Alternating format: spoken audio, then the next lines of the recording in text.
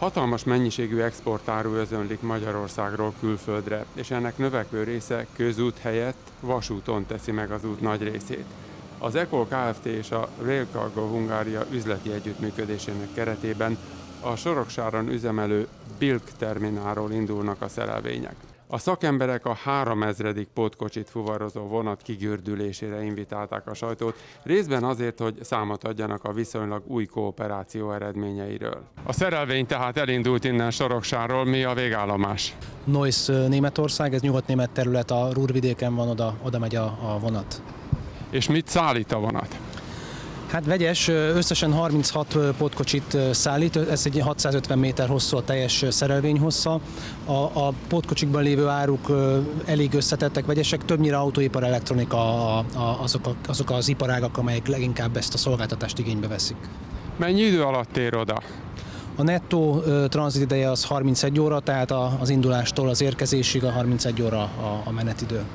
Manapság vonatok esetében hogy működik a dolog? Ugye laikusok tesznek fel ilyen kérdéseket, mint például én, hogy végignyomon követik egy-egy ilyen szerelvénynek az útját? Igen, a, a lokomotív ugyanúgy GPS-szel felszerelt, de nálunk az összes pótkocsiban is van GPS nyomkövető, mert mi az ügyfeleknek a saját hozzáférés biztosítunk ahhoz a szállítmányhoz, amit ők szállítanak, tehát tulajdonképpen mondhatni, hogy ilyen szempontból teljes mértékben nyomon követett mind a lokomotív, mind pedig maguk a, a pótok, amiket szállít. A közútnak és a vasútnak a házassága az egy boldog házasság?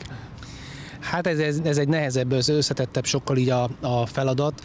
Alapvetően kell, hogy legyen egy ilyen vegyítés vagy házasság, ahogy fogalmazott, mert, mert kell az alternatív megoldása a közúttal szemben. Sokkal komplexebb, nagyobb szervezési igény van összeharmonizálni, kombinálni a, az érkezéseket, indulásokat. Ugye itt fix menetidő van, amihez igazodni kell, tehát itt a vonatnak az indulására itt kell lenni az összes pótkocsinak, ha nincs valamit, akkor azt a vonat nyilván nem várja meg, hiszen be van építve egy, egy menetrendbe egészen Németországig, tehát komplexebb, bonyolultabb, de működő házasság. Egyébként ahhoz, hogy valaki egy potens versenytárs legyen a piacon, mekkora kapacitás kell? Szóval milyen járműállomány, hány emberrel dolgoznak? Hát ez, ez egy, egy szegmense csak a, a, a mi működésünknek, nehéz ezt így meg, megfogalmazni. Az biztos, hogy, hogy amennyi ahhoz, hogy versenyképességnek közúttal, ahhoz legalább hetente egy négy szerelvénynek el kell indulnia, mert a versenyképes azt értem, hogy tranzitidőben, menetidőben, hiszen az ügyfelek mindig azt várják el, hogy gyorsan érkezzen áru, az árujuk a célállomásra. És a, amikor megvan az, hogy egységnyi, tehát hány, pontosan hány pótkocsi megy el egy héten, akkor annál többet kell rátervezni, mert mindig van lemaradó, mindig van olyan, hogy nem készül el az áru, mindig van olyan, hogy az okmányokkal van probléma, elakad egy balesetben vagy hasonló. Tehát lényegében mindig egy olyan 10%-kal nagyobb mennyiségre van szükség, árumennyiségre van szükség, mint amennyi a kapacitás, amit egy, egy forrozó vállal azzal, hogy vonatokat indít. Azt lehet tudni, hogy kamionok esetében nem ritka, hogy különböző okokból, de akár órákat kell vesztegelni a határon a vonattal. Mi a helyzet? Hát az Európai Unión belüli forrózásnál nem nagyon jellemző a határvárakozás most már szerencsére. A vonat ugyanúgy az Európai Uniós, Unión belül közlekedik mindenfajta fennakadás nélkül. Amikor mondjuk egy unión kívüli országba, Törökországba megy, akkor, akkor ugyanúgy a vonatot is ugyanúgy ellenőrzik, mint a, a, a, közutat, viszont, viszont hamarabb áthalad sokkal. A szakembernek gondolom nyilvánvaló, de a laikusnak nem feltétlenül, hogy amikor ezek a szerelvények megérkeznek, akkor mi lesz ezekkel a konténerekkel? Hogy kerülnek vissza, vagy egyáltalán visszakerülnek? Hogy működik ez? Igen, ez egy fontos kérdés, hogy gyakorlatilag az a vonat vissza is jön, tehát nekünk úgy kell tervezni, hogy addigra arra a vonatra már megfelelő mennyiségű pótkocsik vagy konténerek visszaérkezzenek, szintén rakottan, tehát akkor van értelme, hogyha áru van benne. Úgyhogy ilyenkor, amikor megérkezik, akkor, akkor ott kint már várják kamionok, akik elviszik a célállomásra, és ahogy említettem már, visszafelé érkeznie kell árunak, ami, ami tehát nem ugyanazok jönnek vissza, ugyanazok a pótkocsik, hanem egy váltásban vannak tulajdonképpen, tehát lényegében visszáru ugyanúgy van. És még egy technikai kérdés, hogy azok a sofőrök, azok a kamionok, amelyek fogadják az árut a célállomáson, azok szintén az önök alkalmazottai vagy szerződéses partnerek? lehet mind a kettő, de mi a saját alkalmazottakkal dolgozunk, saját úgymond kitelepített vontatókkal, de, de ez egyébként egy technikai kérdés meg lehetne oldani a alvállalkoztatással is, tehát mindenképpen van egy másik forrozónak is joga úgymond arra, hogy a mi pótkocsinkat húzza, tehát ez is egy opció egyébként. Miután látja a közúti meg a vasúti fuvarozásnak is a napi lüktetését, meg az adatait is, azok a célok, amelyeket kitűztek Európában, 30%-os vasúti részarány az általános áruszállítási, nemzetközi áruszállítási forgalomban és hasonlók, azok reálisak ön szerint?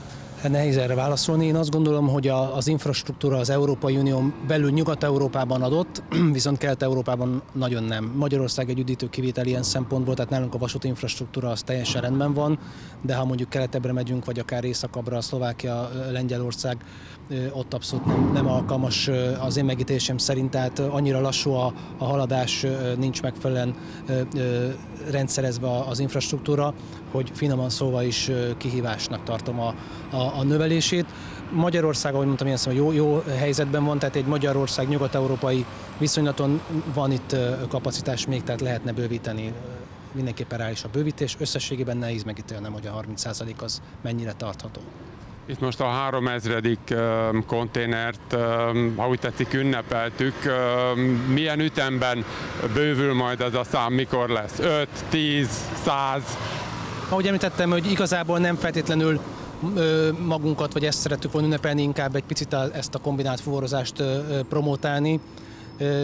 Nem végeztük el a számításokat, mikor lenne az 5000 vagy a 6000 de nem gondolom, hogy akkor újra kivonulunk, ha csak nem esetleg egy olyan, olyan akarat lesz, hogy, hogy megint álljunk el mögé az ügy mögé, mert, mert tényleg ezt úgy, úgy gondoljuk, hogy szükség van erre az alternatívára. De a tempó körülbelül milyen, mennyi idő alatt duplázódhat meg? Mondjuk elvileg két év? Hát ez nem az idei évben idejében meg tud. Tehát az idei végére el lehet ezt érni, a, a, abban az ütemben, ahogy most, mostanában haladunk és dolgozunk. Kovács Ákos a sajtótájékoztatón átfogóan is beszélt az együttműködésről a Rail Cargo Hungária soroksári termináljával. A 3000. pótkocsit indítjuk a mai napon útnak Budapestről, innen a Bilk terminálból, közösen a Rail Cargo-val a, a Noise-ba, ami egy megítélésünk szerint egy, egy hírértékű esemény, hiszen a, a, ezzel az intermodális fuvarozást reklámozzuk, ha így fogalmazhatok, illetve promotáljuk szemben a közötti fuvarozással, ami, aminek a, az időszerűsége az, az, az itt van, illetve folyamatos, mert a, a közúti árufuvarozásnak megvannak azok a korlátai, amelyeket azt gondoljuk, hogy a, a piaci szereplők egyre inkább éreznek, és azt gondolom, hogy itt a három szereplő ugyan mi különböző módon, módokon képviseljük ezt, ezt, a, az új, ezt az irányt, ezt az elvet, de mindannyian azon dolgozunk, hogy, hogy mindenképpen a, ez az úgynevezett intermodális, azaz, azaz egynél több áruforrózási mód modalitásnak a, az ötvezete népszerűbb legyen Magyarországon, és egyre többen alkalmazzák. Mert a, a közúti forrozásban dolgozók tudják jól, hogy elég sok olyan nehezítő tényező van, ami, ami, ami ebbe az irányba kell, hogy keresse az alternatívákat. Leginkább itt a, a gépkocsivezető hiány, amit, amit sokan tudnak, nem csak minőségben, hanem mennyiségben is megmutatkozik. A, e, ehhez kapcsolódóan, vagy ennek következtében kapacitás hiányok merülnek fel a közúti forrozásban, egyre szigorodó szabályozókat vezet be az Európai Unió néhány tagállama, amelyek legalábbis itt, itt mi Kelet-Európából úgy látjuk, hogy, hogy leginkább a magyar fuvarozókra nézve diszkriminatívak, úgyhogy a, emiatt a, a, az alternatív megoldásokra igenis azt látjuk, hogy szükség van, és ezek egyike feltétlenül a, az intermodális forrozás, amikor a, a közutat és a, a, vasutat leegyszerűsítve ezeket vegyítjük, és, és próbáljuk ezeket az akadályozó tényezőket eliminálni. Az ECOL 2017-ben vállalkozott erre a feladatra, amikor beruháztunk is ennek megfelelően alkalmas pótkocsikra, és Magyarországon elsőként indítottunk úgynevezett irányvonatot, ami azt jelenti, hogy csak a mi áruink, a mi pótkocsiaink utaztak a vonattal Budapest és akkor Köln között. és tavaly évben kezdtünk el együttműködni Magyarországon is a Railcargóval, és a, azóta itt a bérterminálból indítjuk a, a vonatainkat Magyarországra, Magyarországról Németországba és vissza, és a német piacról Benelux államokat, leginkább ugye Belgium, Hollandia, Észak-Franciaország és a Rúrvidék azok, amiket elérünk destinációként, és oda szállítunk magyar exportőrök áruit, illetve onnan magyar importőrök részére hozzuk a, a, visszárukat. Még annyit hozzátennék, hogy, hogy nem, nem olyan egyszerű nyilvánvalóan ez a, az átállás a közúti forrózásról az intermodális forrózásra, ezért azt fontosnak tartanánk megjegyezni, hogy, hogy nem feltétlenül azért döntöttünk a sajtónyilvánosság mellett, mert magunkat szeretnénk ünnepeltetni, vagy, vagy reklámozni, hanem sokkal inkább ezt a forrózási módot szeretnénk promotálni, hiszen, ahogy említettem, még nem annyira ismert, nem annyira népszerű. A, az ügyfelek oldaláról, akik alatt értem a gyártó, termelő, kereskedő cégeket, még a, a bizalom nem olyan magas szintű.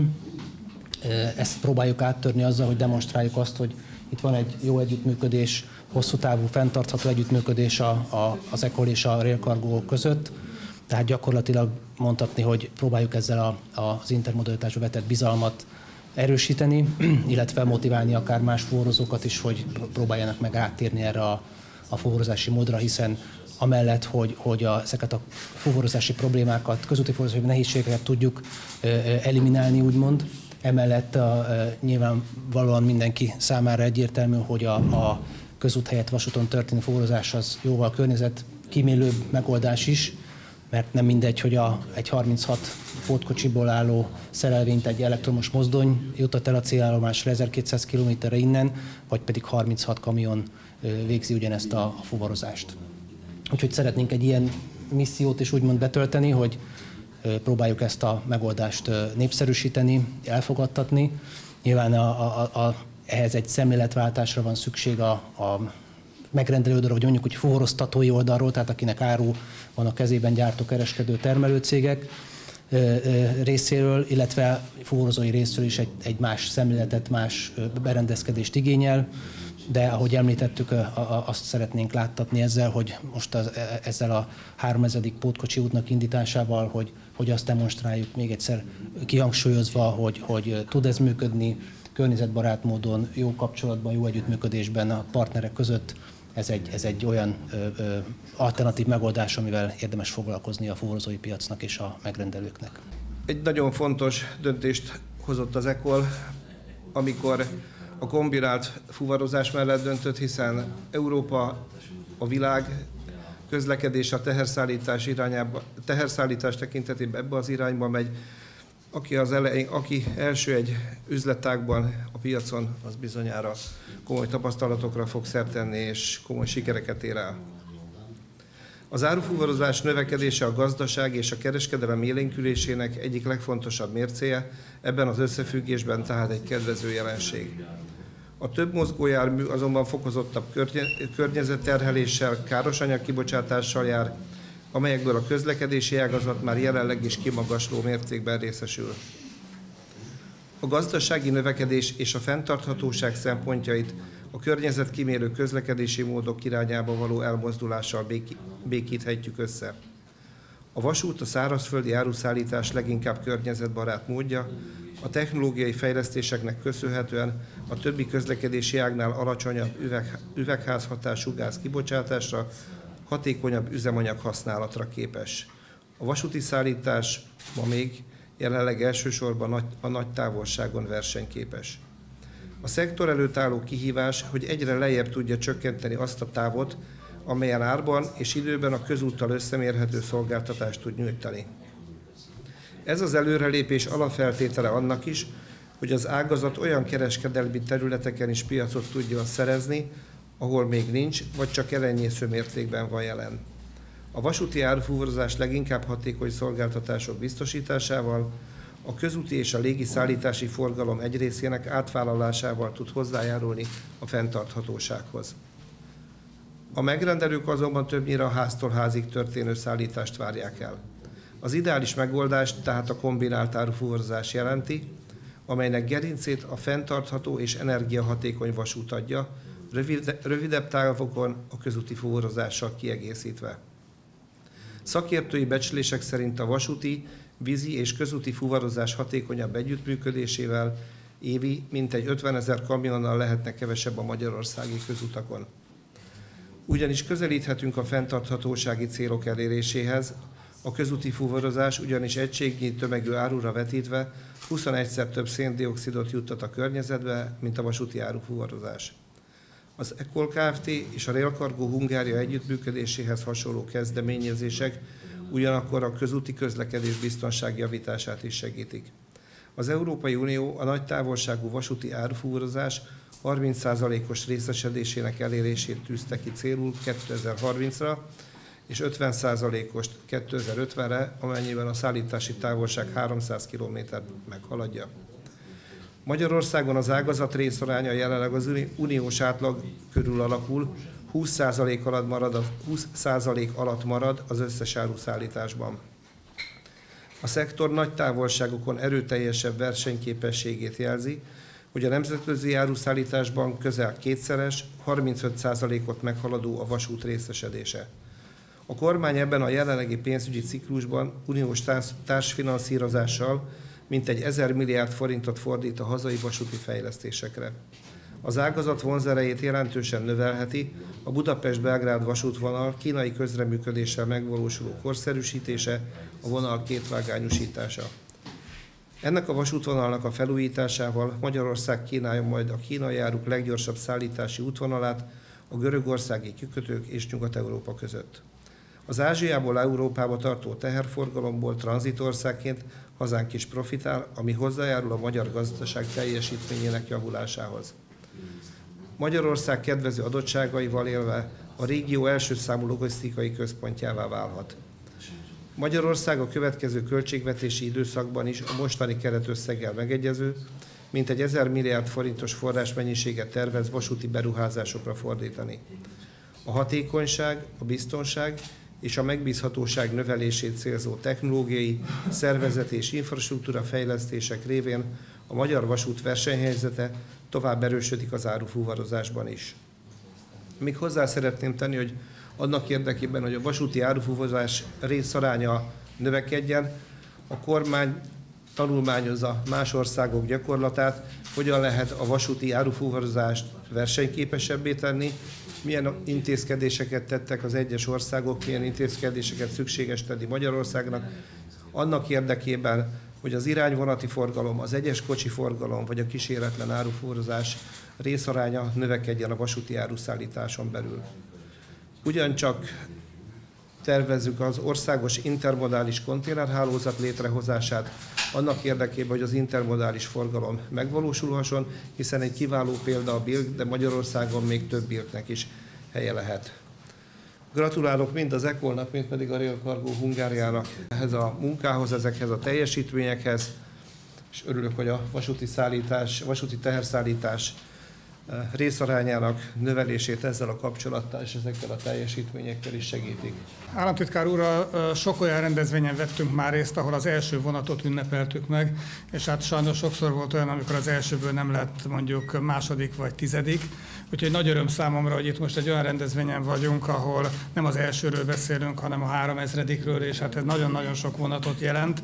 Úgyhogy én nagyon szépen köszönöm ezt az együttműködést, mert azt gondolom, hogy ez a rend, maga az eddigi munkánk, teljesítményünk, illetve maga ez a rendezvény is hozzá fog ahhoz járulni, hogy tényleg az ügyfelek jobban elfogadják ezt az újabb kombinált fuvarozási módszert, és még több, még több forgalmat tudunk bonyolítani.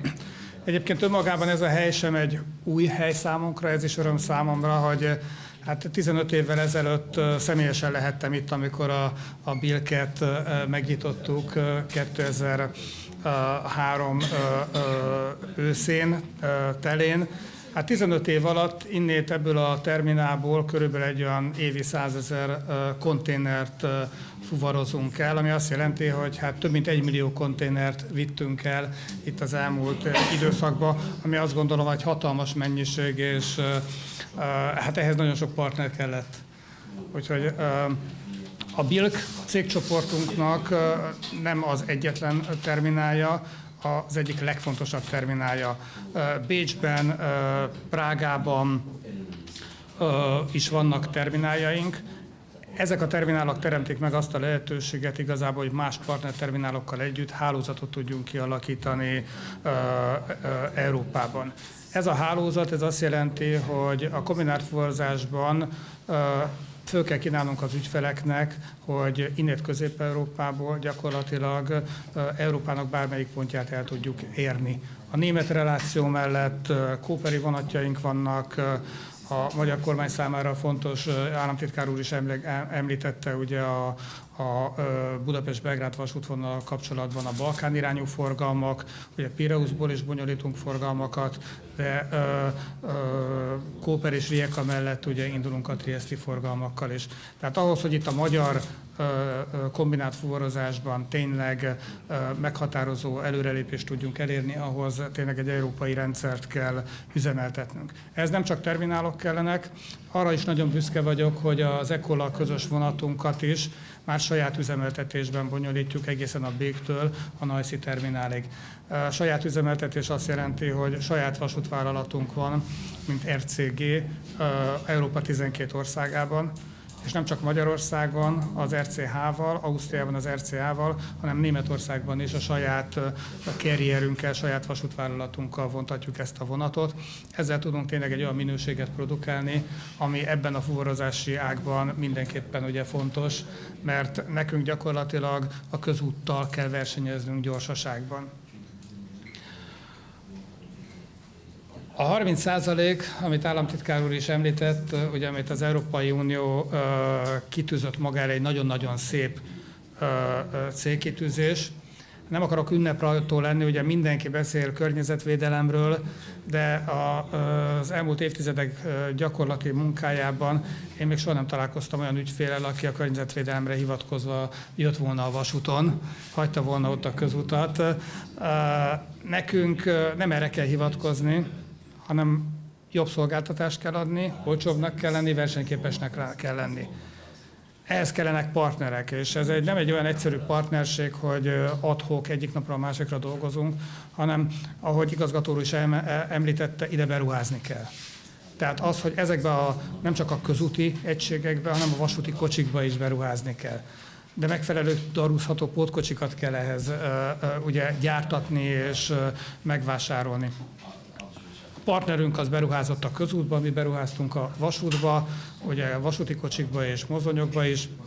Én azt gondolom, hogy csak így tudunk versenyképesek lenni, és akkor elérjük azt, hogy gyakorlatilag 30%-ot talán meg tudunk valósítani, nem csak a nemzetközi, hanem a, a belföldi forgalomban is, de még egyszer hangsúlyozom, versenyképesnek kell lenni. Ahhoz, hogy ez a versenyképességünk ez meglegyen, ehhez nagyon nagy szükségünk van ugye az állami környezetnek az alakítására is. Államtitkár úr ezt a beszédének a végén említette, hogy a magyar kormány tényleg eljutott odáig, hogy a beruházási támogatások után foglalkozon azzal a kérdéssel is, hogy hogyan lehetne erre a vasúti infrastruktúrát több forgalmat szerezni. És hát a Keretében mi egy vasúti versenyképességi csomagot javasoltunk a minisztériumnak, aminek egyik eleme gyakorlatilag a kombinált fuvarozásnak az állami üzemviteli támogatása. Nagyon jó, nagyon komoly együttműködésünk van a minisztériummal, nagyon nagy reményeink vannak arra, hogy itt a következő tényleg egy-két évben az üzemeltetési támogatást tudunk adni, tudunk kapni, ami azt jelenti, hogy még versenyképessé tudjuk tenni a kombinált fuvarozást a vasúton a csak közúti fuvarozással szemben. Én is nagyon szépen köszönöm az ECOL-nak a bizalmát és ezt az együttműködést, mert ehhez nagyon komoly bizalomra is szükség van.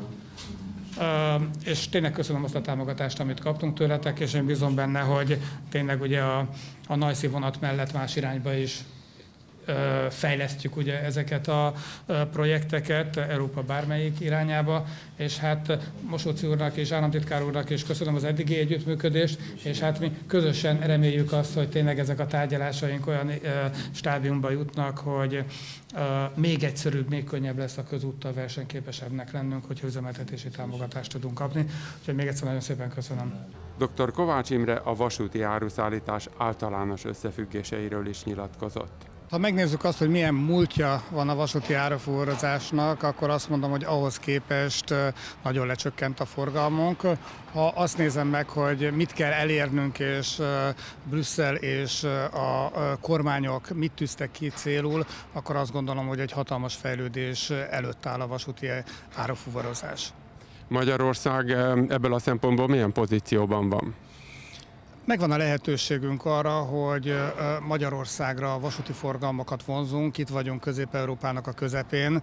Ha megteremtjük az ideális vasúti átbocsátó képességet, ez az infrastruktúrára, a szabályozókra is vonatkozik, akkor nagyon sok vasúti forgalmat tudunk idehozni, vagy nagyon sok nemzetközi forgalmat tudunk a vasútra a többi vasútársasággal együtt átállítani.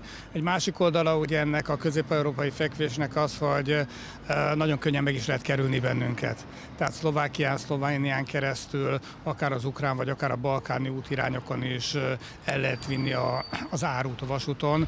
Ezért gyakorlatilag egy ilyen kettős kihívás előtt állunk, hogy próbáljuk meg ezt a kedvező földrajzi helyzetünket kihasználni, és természetesen a vasútra akvirálni, és azt megakadályozni, hogy a magyar közutakon menjenek ezek a tranzitforgalmak tovább. Itt, ahol beszélgetünk Soroksáron, infrastruktúrális szempontból ez egy jó példa. Általában árufuvarodási szemszögből a magyar infrastruktúra milyen pozícióban van? Hát én azt gondolom, hogy ebben nagyon nagy elmaradásban vagyunk még.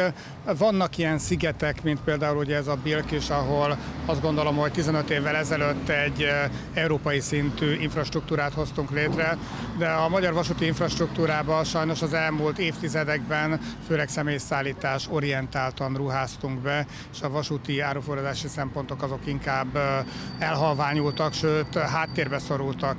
Itt említenem meg például az állomáskonstrukciókat, ahol az iparvágányokat vagy közforgalmú rakodóhelyeket inkább megszüntettük, annak érdekében, hogy akár buszpályaudvart létesítsünk ott amit természetesen én megértek a személyszállítás, személyi közlekedés oldaláról, de a vasút számára ez mindenképpen hátrányos volt. Én azt hiszem, hogy most érünk el oda, hogy ezeket az áruforradási érdekeket is képviselnünk kell. A közutak, ha bedugulnak, ha új koridorokat akarunk Magyarországon keresztül megvalósítani, akkor a vasúti infrastruktúrába áruforrás orientáltan kell beruházni. Ugye ennek az egyik legnagyobb projektje ugye az a Budapest-Belgrád vasútvonalnak a, a fejlesztése, ami azt gondolom, hogy anna, annak érdekében, hogy itt tényleg akár ide a Békre is nagyobb forgalmakat tudja hozni, az mindenképpen szükséges. Mennyire látja kézzelfogható valóságnak, hogy ez a Budapest-Belgrád fejlesztés ez valóban megtörténik? Hát én azt gondolom a jelenlegi információk alapján, hogy ennek a ö, ö, projekt előkészítése azok jó haladnak, és hát ahogy a ö, szerb oldalon gyakorlatilag már a Belgrád Noviszád térségében elkezdődtek a munkák, én ö, jelenlegi információim alapján azt mondanám, hogy itt a következő két-három évben Magyarországon is megtörténik ennek a pályának a felújítása. Az árufuvarozási szállítmányi szakemberek számára az már régen matekkal elég könnyen kimutatható, hogy a különböző megoldásoknak milyen jövedelmezősége, esetleg ráfizetése van.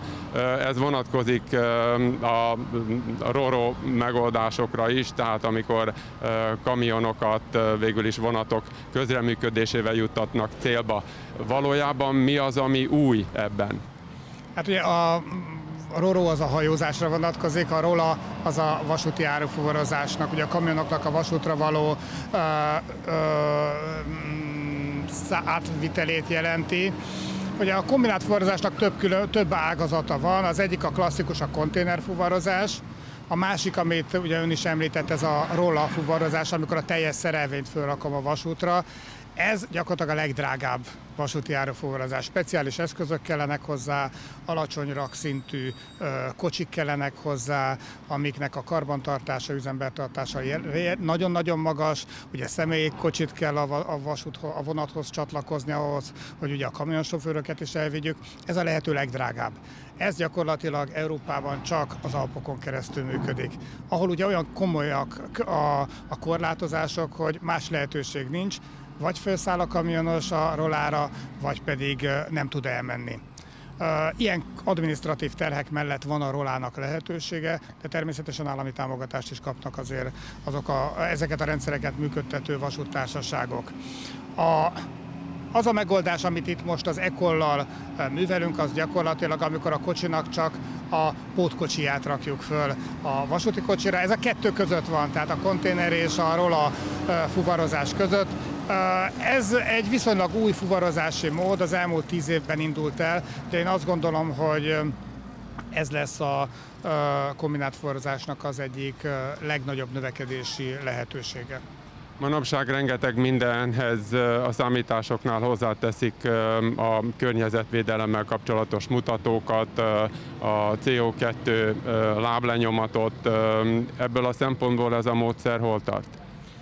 Hát én azt hiszem, hogy ez a környezetvédelem aspektusából ez egy nagyon-nagyon fontos dolog, mert minél kevesebbet megyünk ugye a környezetszennyezőbb közúti oldalon, és minél többet a vasúton, annál többet teszünk a környezetünkért. Azt azért szeretném elmondani, hogy természetesen ezt mi is elmondjuk, hogy környezetkímélő, és nagyon sok ügyfélnek a reklámjaiban, üzleti jelentésében látjuk a környezetvédelemre vonatkozó ugye, vágyakat, előírásokat. Én a gyakorlatomban még nem találkoztam olyan ügyfélel, aki környezetvédelemre hivatkozva vasúton fuvarozott volna. Ez vonatkozik erre az együttműködésre is. Nekünk az a kihívás, hogy olcsóbbak legyünk jobbak legyünk, gyorsabbak legyünk, mint a másik fuvarozási módszer. Tehát nem a környezetvédelemre hivatkozunk, hanem nekünk olyan megoldásokat kell találni, amivel versenyképesek tudunk lenni a tiszta közúti fuvarozással ö, ö, szemben.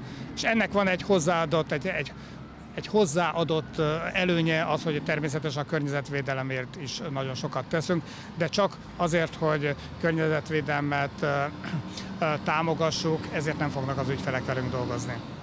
Más országok gazdaság történetéből is lehet érzékelni, hogy időnként a vasúti fuvarozás és a közúti árufuvarozás az érdekcsata területe. A légit még szintén hozzá lehetne tenni. Ebből a szempontból Magyarországon kooperáció, kollaboráció vagy érdekütközések jellemzők. Hát ez egy nagyon érdekes kérdés, ugye mert nem csak közútról és vasútról beszélhetünk, hanem beszélhetünk magyar közutasokról és nemzetközi közutasokról. Én azt gondolom, hogy a magyar közutasokkal nekünk nagyon-nagyon kevés az érdekellentétünk. És ugye itt is demonstráljuk azt, hogy a magyarországi árukat fuvarozó közutassal mi tudunk együttműködni. A nemzetközi közút az már egy másik dolog, tehát a török-bulgár kamionosokkal, azokkal már csak érdekkonfliktusaink vannak igazából, és ugye ennek az egyik legfontosabb lecsapódási területe, a, ami valahol a kormány által is befolyásolható, ez a, a közúti engedélyeknek a kiadása. Tehát még egyszer hangsúlyozom, a magyar közutasokkal nekünk inkább a kooperációs oldal az, ami domináns. Egymás mellett létezünk az ügyfelek érdekében.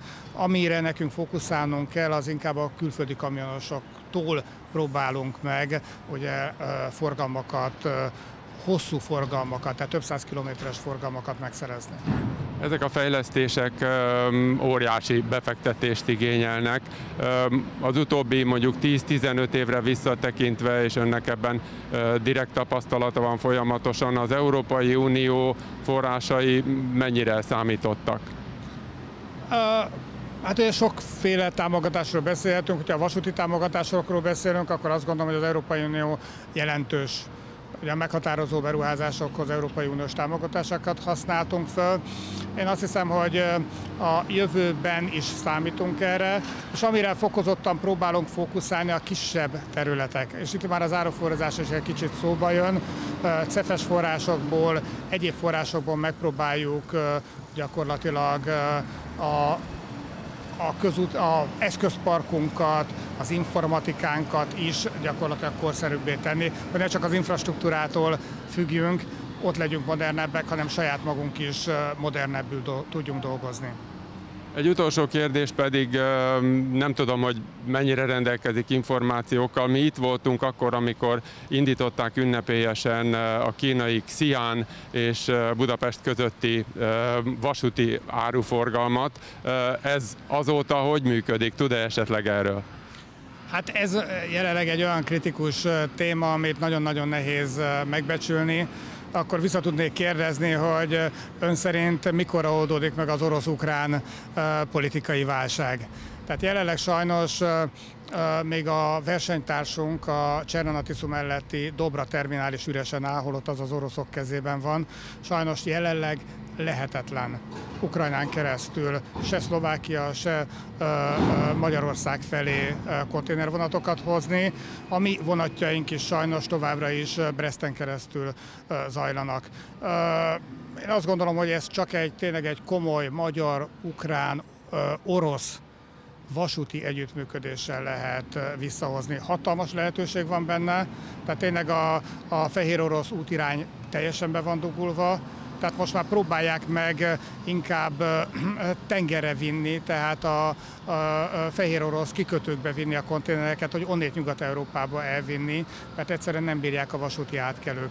Tehát a lehetőség az hatalmas lenne, ami a kihívás politikailag és a vasúti üzletek számára nagyon fontos, hogy hogyan tudunk egy orosz-ukrán utat megnyitni, hogy tényleg ez egy vasúti üzleti téma legyen és ne politikai kérdés.